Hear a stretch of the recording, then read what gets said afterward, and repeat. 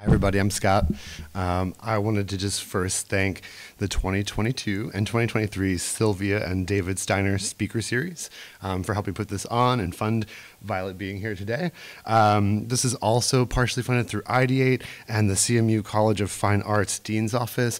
Um, every time we offer the Activated Animorphs class, which I'm the instructor for, we are able to bring in guest artists. And this year, our special guest is Violet Maimbourg, who I'm excited to introduce to you today. I also want to give a shout out to my TA, Caroline Yu, who has been working with us extensively this semester. Um, so it's my pleasure to introduce this year's guest, Violet Maimbourg, who is visiting to work with the Activated Animorphs. Today we were making prosthetics.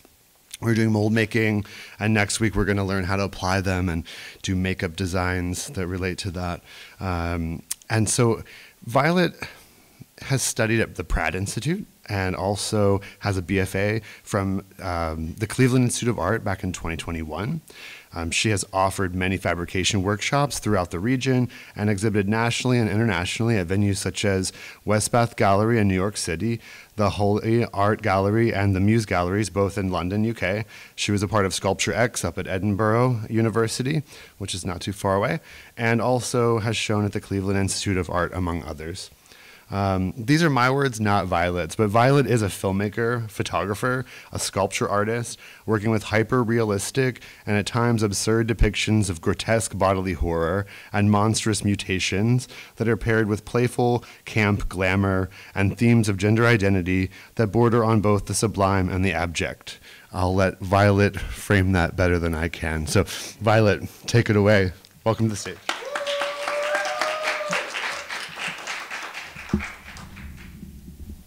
Thank you for that description. I'll have to use that in my artist statement and steal that. Um, thank you, everybody, for coming over for dumplings. Um, I'm just a, uh, a, side effect and entertainment for tonight. Um, I had a great time. Thank you for all from the class today who are coming to see me talk. Um, gives a little more context to why I was there in the first place. Um, thank you, Scott, for letting me speak here tonight. Um, I'm going to go through basically what I do, why I'm here, and why it's important to me, um, and how I do it. Um, so, first, a little bit about me. I'm an artist, I'm an animal lover. Those are my cats, Sabrina and Salem. Uh, Sabrina is six months old now, and she's probably at home missing me. Um, but that's my motivation. I get up in the morning sometimes, um, that and my art. So, and there's a photo from my undergraduate posing with one of my sculptures. So, my undergraduate work was really focused on my gender identity because I was in the beginnings of my transition and I, I, I focused a lot on what that meant to me and how other people perceived me. And I realized that I didn't want to be known as that trans artist. You know, I wanted to be known as an artist because I'm a thousand different things before my gender identity, right? So I kind of moved away from that. But it, you know, there are a lot of feelings around transitioning and, you know, physical changes and mental changes and emotional changes and uh, exterior and internal battles, you know, that you have to battle. And I think uh, this piece I did for a, a, a sculpture with skin class. Um, you know, explains, I was talking about more so like I went to Victoria's Secret to be fitted for a bra, and I was called sir by the person in the waiting room. And I kind of made this piece to say, like, what does it have to take? Like, me getting a bra fitting at Victoria's Secret is like Okay, all right. Um, and then I made this robotic breathing latex blob. You know, this was my first kind of dipping my toes into animatronics and um, wounds and latex and skin realism. Um, uh, the smell of latex was haunting me for about a year. Um, it's a very specific smell. If you know it, it was over everything. But I've moved to silicone now, which is a lot more finicky and a lot more um, harder to work with, but it definitely gives me more realistic skin tones and all that.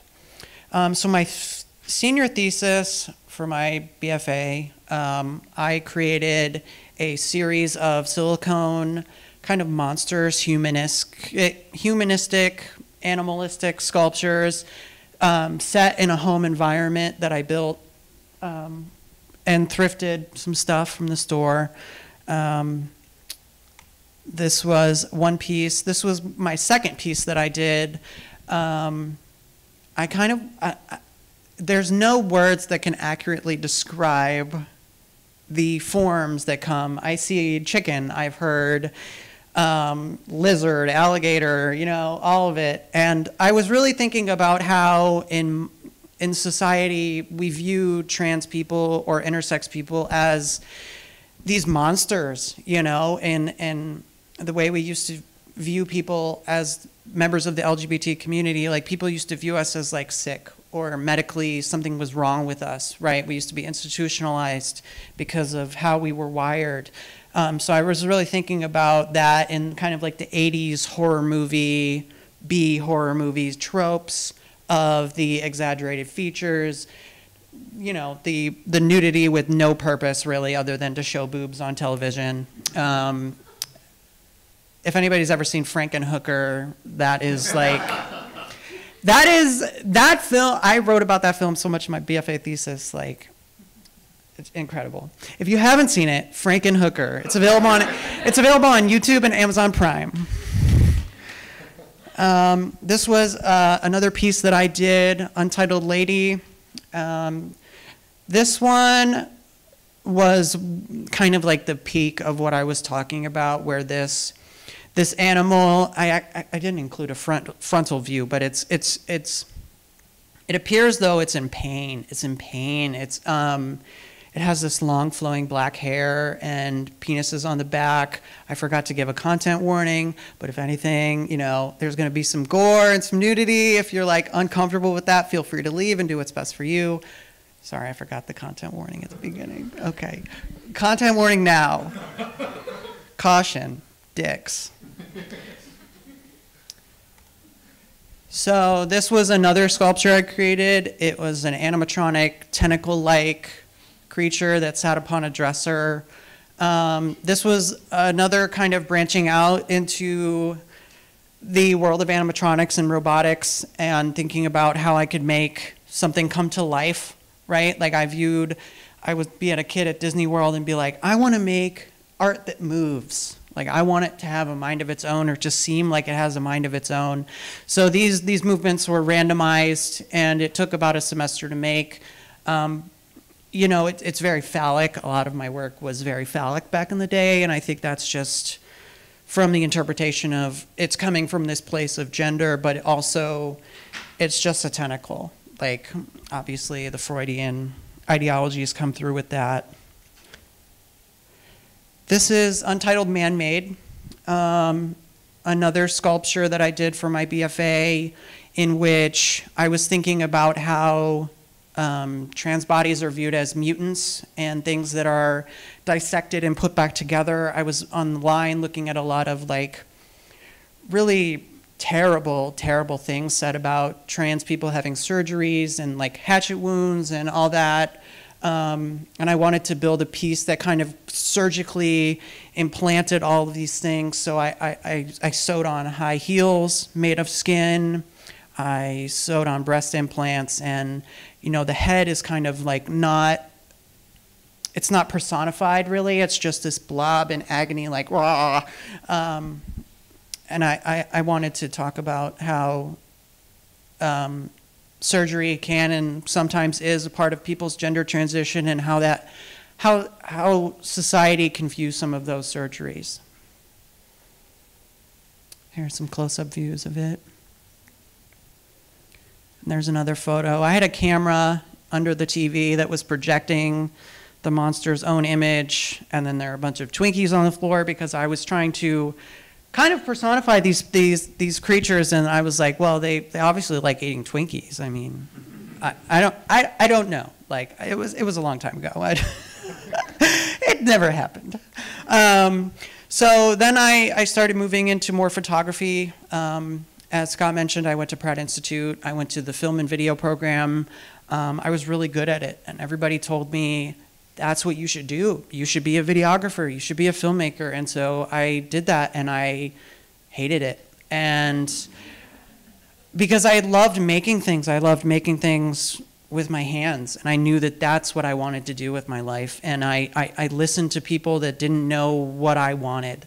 And only I knew what I wanted. And I wanted to do sculpture. But photography has always been my first love. It's always what I love to do. And I love the idea of putting myself in this moment that can be captured forever and also display some of the pain and the feelings of longing, rejection, heartbreak, all these things because since I was a kid, I've always felt things way different. I've always told, been told you're sensitive. Um, uh, now I know it's about it's because of a personality disorder, but it, it, these things, these feelings feel like they'll kill me sometimes. Sometimes I feel like the sadness is so great that if I don't express it in a way that other people can understand, I'm going to die. So I started doing these self portraits, and this was at a lonely time in my life where I would just go to Party City, get a bunch of things, come home, and shoot these portraits. And it, it, it really took a turn into this artistic practice where I could display all of these feelings and be like, this is how I'm feeling inside. Don't you see? Like, people never, I felt like people never really understood the way that I feel. Um, sorry, I keep, I don't know where to hold the microphone. Um, and then these, you've seen the green one, and that's actually not makeup. That's when I got my nose job, um, which is kind of gross and kind of fascinating. But I like to throw that little tidbit in there because everybody thinks it's makeup, but that's real. Um, but I, you know, displaying this pain and displaying these images of like, like eat like a lady. You know, I had all these, I've, you know, as a woman, you have all these expectations of, oh, you're supposed to be this size and be, eat this and eat a salad and not, you know, I like a big burger. And I'm going to eat a big burger if I want a big burger. Like, I, and then I did these three portraits in film. Um, I did the middle one, and then I was like, you know what, I could turn this into like a series about infidelity and adultery and like kind of tell a story through these portraits instead of it being just a single moment in time. I can use multiples and like tell a story through these portraits. Um, so this was a series I did, and I, I, I think it's pretty okay. so I graduated um, with my BFA, and I was like, hell yeah, I got the thing I've been working for for seven or eight years and now I have no idea what to do with my life. Um, I, I said in the summer of 2021, after I had just gotten my degree, I said, I feel like I'm just a giant human meatball. And so I started working on this sculpture, Inescapable Self, and it, it I wanted to assemble this meatball of myself and kind of you know, make it look like I was crushed in a crusher and all my body parts are coming out in every which way and like I'm wounded, but I still have that that beauty that I, I radiate and people tell me I radiate, you know, so people can be like gross, but also like cool, but also like, I don't know. Um, I felt lost for a long time after I graduated. Um, I didn't really know what to do because art school is supposed to teach you how to make art and then they touch on what to do, but they don't really tell you what to do when you graduate. They just give you your degree and say, good luck, goodbye. Um, and so this took about six months to make. I'll talk about the process a little bit later in the presentation when I talk about my process, but um, it's pretty big. It's 40 inches tall. It is very heavy. Um, it is silicone and it has a fiberglass shell on the inside. And this was most recently uh, exhibited in New Jersey somewhere, Studio Montclair New Jersey. Um, and here are some close-up images.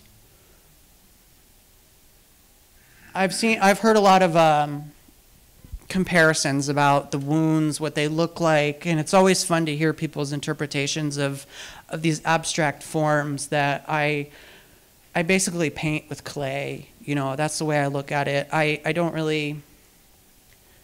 I, it's kind of very intuitive. A lot of my work is made very intuitively, just doing what feels right, doing what it needs, doing, putting this here because I feel like it needs it right here, not anywhere else. Um, and that's a that's a thing that I. And then I got a fabrication job, and I had access to a welder and metal, and I started learning all these new things. And so, I started working with hands. Um, I've done a lot of a lot of hands. I have a lot of silicone hands, and I started thinking about like, because I would come home every day and my hands would just be dirty and cut up, and from working with metal and wood and everything all day, and I was just like, these hands have done so much. They've they've caused harm. They've hurt me and other people. They've built incredible things, and they've also like caressed people and touched people, and and I just love the fantasy of hands because hands have built everything that is around us, and yet we kind of take them for granted, right? Um, I feel like sometimes, and and this sculpture I was talking, I, I mean, you can derive your own meaning from it. I don't want to drone on too long, but you know, when you have your hands behind your back and your fingers are crossed, it, it, it I was talking about more dishonesty, trapped in this cage of barbed wire that's inaccessible from the outside. Um, and it's hanging. It's a hanging piece.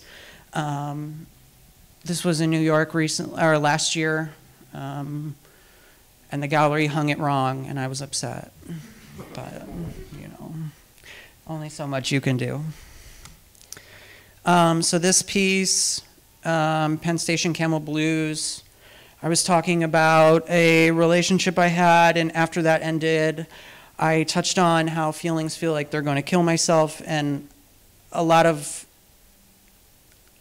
a lot of my life story involves self-harm and harming myself and you know burning myself with cigarettes. I put out 20 to 30 cigarettes on myself and this piece was kind of putting an end to that and burying that time in my life because it, it, it had resurfaced and it had been like a decade and it was it just i was finally putting that era to rest and I, I, I, like to look at this piece as like a memorial of the person that I was, but still am kind of, because, you know, that's always going to be me. But I like to think I'm a better person nowadays. Um, so this piece is Preserving a Withered Rose. This is a piece I did in 2022. Uh, again, hands, again. Um, I like the idea of preserving things, drying flowers, um, preserving body parts. Um, I was thinking about incorporating wood and metal together. I love the dichotomy of steel and silicone, right? It's the hard substance and the soft, fleshy nature. Like, I, I, I just, there's something about putting the two together that's like, this shouldn't be together, but it is. Um, I have that my next piece involves a lot of steel, but but this was talking about preserving one thing while you're holding five other things and kind of looking at something that's inaccessible to you, but still longing for it, even though you have, you know, a lot of it in front of you. Kind of forgetting about what you have instead of idolizing somebody that is inaccessible. Um, so this was my this was a recent piece. I just finished this one like two weeks ago. Um, we're sorry you've reached a number that has been disconnected or is no longer in service. Um, yeah, pretty self-explanatory. Yeah, we have a hospital bracelet and a steel cage. Again, talking about trying to access this steel cage, this hard cage that, you know, just trying to do it with brute force is impossible. Trying to reach something that is gone forever and you can never get it back. And I think that's something that I, I, I love talking about longing and yearning. And I, I that was reminds me of a funny meme about yearning. Um, like Seinfeld, I don't know. Do you ever yearn? Do you lay up and yearn? I yearn. Um, a lot of my work talks about yearning. Um, I've been collaborating with an artist in London, which is how I've been gaining some contacts in London. Uh, Petite Doll She does surrealist portraits, and we've been collaborating on a few pieces. And one that I recently made is called Flesh Vinyl. Um, I basically molded my face while I was smiling, and then demolded it and put my face made out of clay on a vinyl record, made a mold of that, and put it on a record player. And it's actually, I mean, people love it. I mean, it's been in multiple galleries. I kind of made it for somebody else and but I, I still put all the love and care into it that I put into everything else and I and I think it shows. I mean in person it's so much more visceral than the photos. Like a professor of mine, a previous professor of mine saw it and was like, that in person is way more powerful. And so I, I just think my work has a lot of power in person rather than um, in photos, as you can see. So I made another piece in 2022 that's called Makeout Machine. Again, I love robotics and like the the the juxtaposition of metal and silicone and um, I was really talking about femininity and like the the the aspects of femininity like she's in her hoe phase like I was in a hoe phase and I was like talking about how women are used as these sex objects, but not really given the time of day when it comes to professional life or like their ideas or, you know, I made this piece when I was working at a really abusive uh, job where my boss would make me get him beers every day, and like it was just very like not a good place to work. And I just thought about my role in the world and how women are treated and thought of as these these objects in society. Uh, this was a piece I made uh, around New Year's 2021, 2022. Um, basically, I put myself into a tube, um, and the, the text on the tube is variations of I'm working so hard to get better. I'm better, I'm better, I'm better, I'm better. And I've been through a lot of treatments, um, I've been through a lot of therapy, and it always feels like I'm doing better, but then I don't feel like I'm doing better and it's kind of just like putting myself into this box and saying i'm doing better i'm doing better i'm doing better. And you know again steel silicone i love that combination. This is another piece. I was kind of moving away from silicone. I wanted to do something different. Um, there was a local show in cleveland and i made this for it. It was about occult. So i was thinking about like witches and wizards and whatever I didn't really follow the prompt. I don't know. Um, that's the thing about life at school. Like, you kind of have to just do whatever you want and like shoehorn it into what you're supposed to be doing because then you'll never do what you want to do, and you're instead you're doing something else that somebody else is telling you to do. Um, so I made this plaster bust of my chest, and I was really thinking about how paint wears and how memories wear as we kind of get older and you know we remember things but they're kind of fuzzy and like the aging of old buildings. I was working in an old warehouse at the time and i and i would look at the paint and be like there's lead paint in there. I know it. Um, but but the textures the textures of the walls were very uh, fascinating to me and i wanted to incorporate that on my body. Uh, my newest piece i made an arcade game. Um, this is called the love tester and so the viewer, wood, steel, aluminum, incandescent bulbs, 3D printed parts, acrylic paint, electrical components. I built everything from scratch. Um, it's been a long six months. I just finished it. I released it on Valentine's Day on Instagram because I was like, what a better time, because you'll see. Um, so the viewer inserts a quarter. They grab the metal handle that supposedly measures their love force or their fate um, and then they press the button and it lands on die alone every single time. So,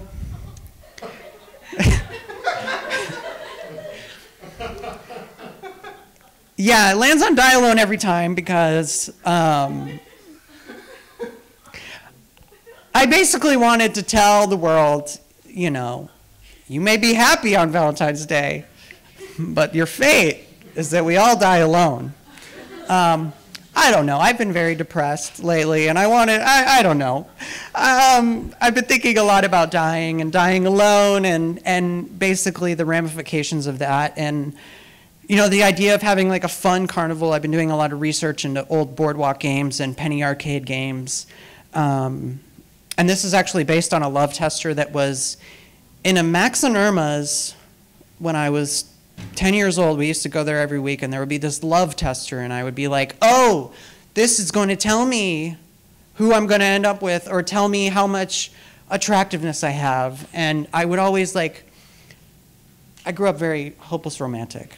I've always been a hopeless romantic and just like looking up at this machine that could tell me how valuable I was to another person was so fascinating to me. And I've actually, I, this the sign up top, the wooden sign that I cut on the CNC, um, is actually based on the sign from the original Love Tester. It's actually like the same design. I just changed the little. It says text, test your sex appeal on the original one, but I was like, I don't like that. I'm gonna change it. Um, now I'll talk a little bit about my process. Um, I've been working a lot with electronics recently, and it's been the death of me. Um, I'm not very good at electronics. I'm not an engineer, but like it interests me to a point where I'm willing to suffer for my art. Um, a lot of Googling Arduino Reddit posts and just like trying to make things work no matter what. Um, so back in August, I, I started coming up with this idea for the love tester.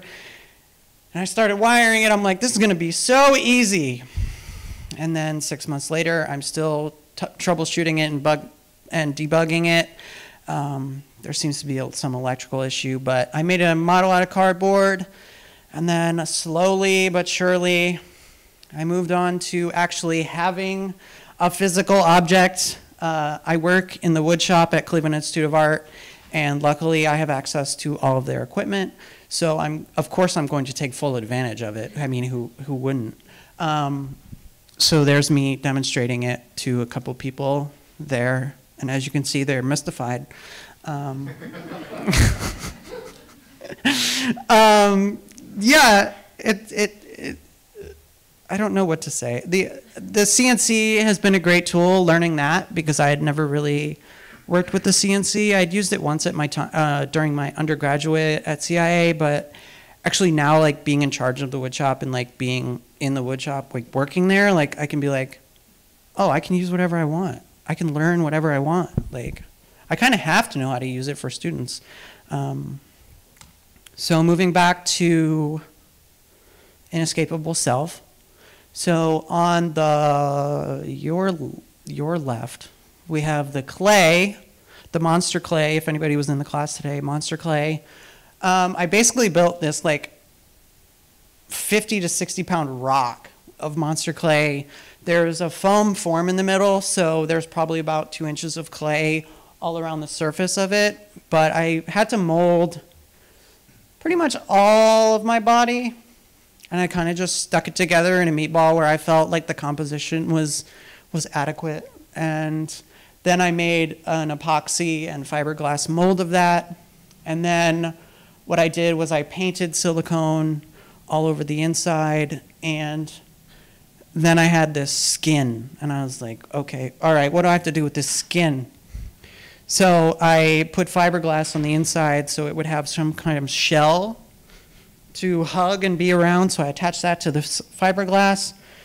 And this is the, the skin when I was punching the hair into the eyebrows and the eyelashes. Um, that's a process shot of when I was painting. I felt it looked like uh, raw chicken breasts. And so I took a picture of it and I was like, it doesn't look like a raw chicken. I mean, kind of. Um, sometimes you think things and then you like go back and you're like, that's wrong. Um, and here's a photo of me punching hair. I actually borrowed hair from a coworker, and I was like, "Your hair is like nice for eyelashes. Can you like cut me some of your hair?"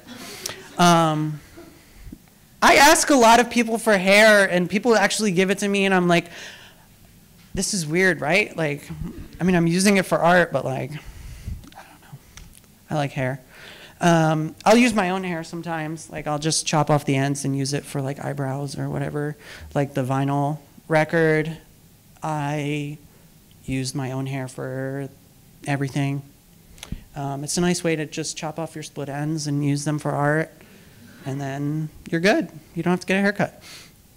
Um, so what I do to basically make hands is instead of hands are really hard. You know, you have a lot of curves, you have a lot of undercuts, and what people instinctively do is like, okay, I'm going to wrap my hand in silicone, right? But the hard part comes when you need to pull your hand out and pour stuff in, right? Because it's feet are even harder because you can't your foot bends at the ankle, right? So you kind of have to do a two-part mold, one on the back, one on the front, one on the back. I don't know if any of you know what I'm talking about. If you're taking the mold making class, you'll probably know what I'm talking about. A two-part mold. Um, so what I do is use alginate for my molds. Um, I'll mix up some alginate, which is an algae-based powder, and then it turns solid, kind of like jello. Um, but it's temporary. Usually I can only get one casting out of it. It's very rippable. So what I do is I uh, stick my hand, get in position in the alginate, wait like 10 minutes in this cold goo, and then it'll solidify. I'll pull it out, then I'll, then I'll pour in the silicone, wait a couple hours, and then there's my hand. Um, I usually airbrush my, my, my skin. Um, I've kind of I've done a lot of this silicone painting, and I've I've every time I think I'm getting better, and then I make a dumb mistake, and I'm like, oh, maybe I'm not getting any better. But I don't know. I I love skin. I love that everybody's skin behaves differently in terms of the amount of veins that you can see and the, the tendons moving in the skin and it's so fragile but also very tough and it's like the biggest organ in our body that can heal itself and like it's crazy. It can be crazy. Um, anyways, I love hands. Um, so here's a picture of me with Inescapable Self for scale. Um, yeah, I like, I like the concept of gore and violence is okay for but I try not to use gore and violence for violence sake. Like if I have to make a sculpture that's bloody, I want to make sure it's bloody for a reason. I want to make sure that I'm not just doing gratuitous violence and injury. I do love gratuitous nudity, I will say. Um, I, I, more people have seen my boobs than I want to, but that's okay. Um, and I think I'm going to wrap it up. I have an Instagram, which I post a lot of things on, somewhat annoyingly to my followers. Um, I also post art there. I have a website. You know, you can see stuff that wasn't in here. So you can see like the secret, secret archive of my work. Um, you can see all my video work too. I didn't include any today because I thought I would have like 20 minutes and I'm supposed to do with 45 minutes. Um, I would have definitely made this longer. I appreciate each and every one of you for coming here to see me, um, and thank you for letting me bare my soul to you, um, because I try to do that through my art. Each piece that I create is me taking a piece of my soul and showing it to the world and being like, I'm vulnerable as shit right now, like. And I think that's a really hard thing to do. It is for me. Um, I was super nervous coming up here and like doing this, but like, it's my art, you know? It's just me, you know? Hopefully you like what you see. Maybe if you didn't, that's okay too. Um, but thank you. And we'll open up for questions, I think. Yeah.